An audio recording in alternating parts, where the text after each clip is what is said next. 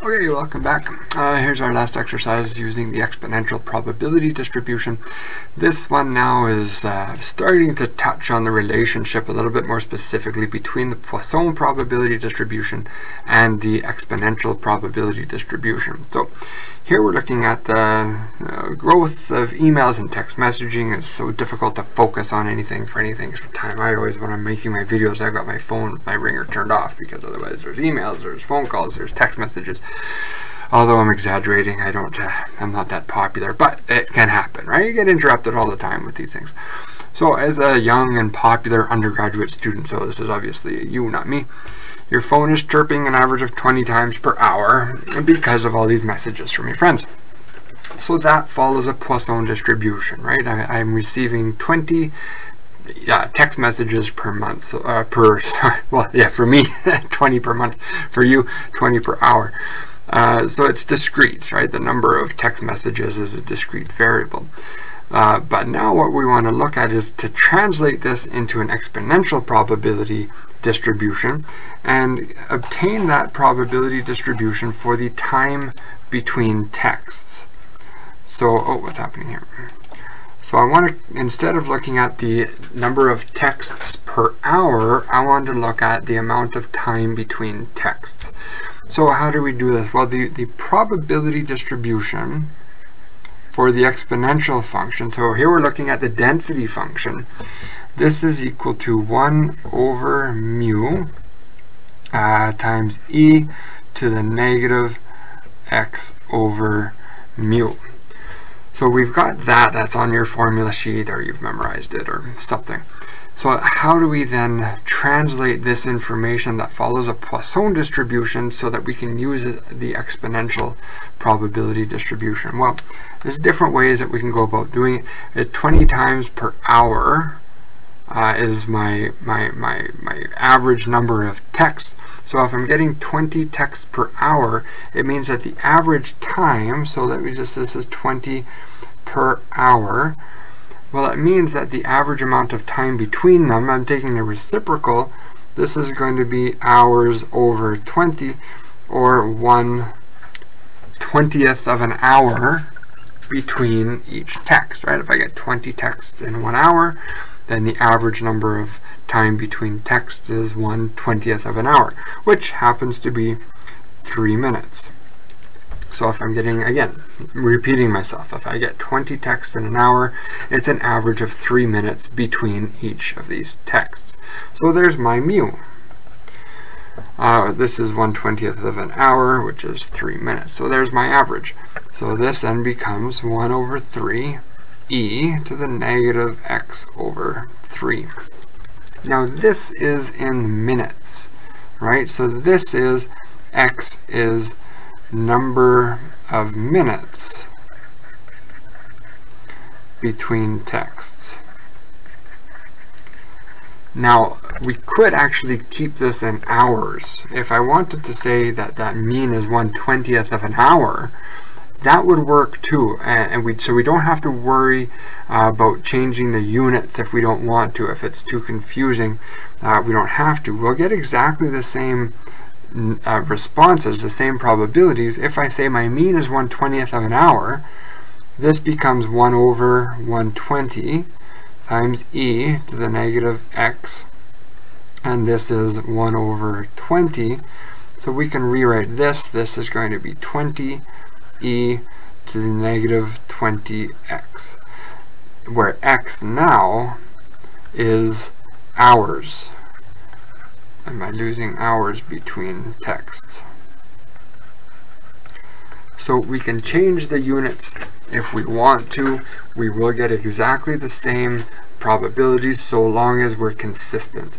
So I'm going to, I'm going to work in minutes. I find it's a little bit easier to work with, so I'm just going to get rid of all of this business. And I'm going to define x as the number of minutes between texts because that's how we've got everything here. 15 minutes and 5 minutes. It's just it's easier to work with than, you know, 15 minutes would be uh, one quarter of an hour. So we'd have to convert everything. So let's stick in minutes. Now, here we want to calculate probabilities. So we need that cumulative probability function, which we can just scribble down here the probability of obtaining a value less than some specified value is 1 minus e to the negative x over mu. And in this case, I know what mu is, so this is 1 minus e to the negative x. Mu here is 3. So there we have our cumulative um, probability function. So we can answer, uh, so there's part A. We've already answered part A. There's all of this business over here. Part B, what is the probability you will receive no text message during a 15 minute period? So let me just draw, here's this exponential function. We have a mean of three minutes. So what's the probability you will receive no text message during a 15 minute period? So here we're looking at some value 15. Now the question is, are we wanting to calculate this probability here or are we wanting to calculate this probability here? Is it a lower half or the upper? I shouldn't say half, the lower portion or the upper portion. Well, remember, the way that we've defined our variable is that x is the number of minutes between texts. So if I want to calculate the probability I receive no text message during a 15 minute period, then it means that I want to calculate what's the probability of that interval between texts being something greater than 15 minutes. So I'm looking at this area up here.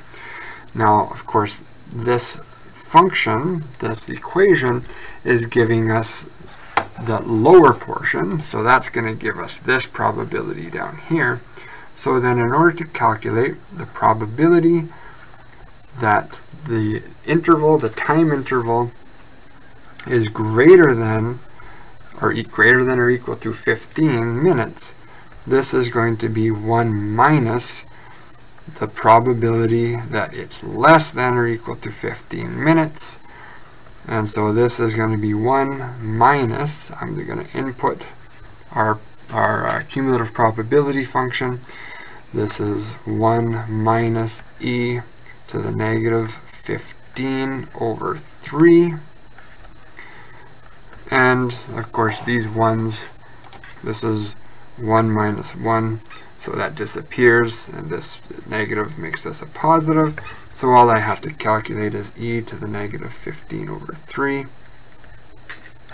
and so here I'm going to have this is negative 15 divided by 3 raise that up there and I have 0.0067 let's call it 0.007 we'll just round it 0.007.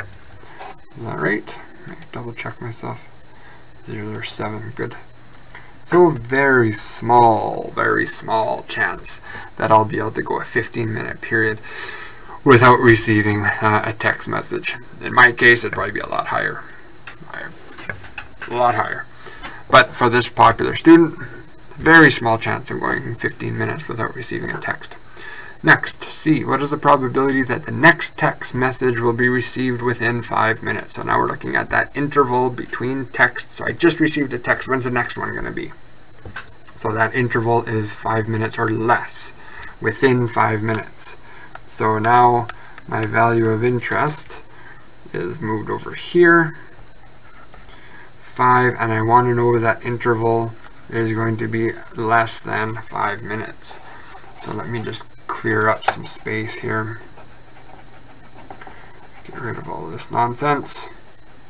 And now we're going to go through the same calculation, although it's actually a little bit easier because we we want to calculate that lower portion of the distribution. So this is going to be the probability that x is less than or equal to 5. That interval is 5 minutes or less. So this is then 1 minus e to the negative 5 over 3. And let's see here, that calculator. So 1 minus uh, brackets negative 5 over 3 base E equals 0.81. 811. Does that make sense? Is that good? Good. So fairly high chance that the next text will be received within that five minute interval. Okay, so this problem gives us a little bit of an insight as to the relationship between the Poisson probability distribution, the discrete probability distribution, and this one, uh, the exponential, which is sort of the continuous version of it. So we can move back and forth. Here I have a variable that follows a Poisson probability distribution. And now we can talk about it in terms of the continuous variable in this case, in terms of the, the, the time interval, the, the time between events rather than the number of events. Okay, so I hope that this was helpful.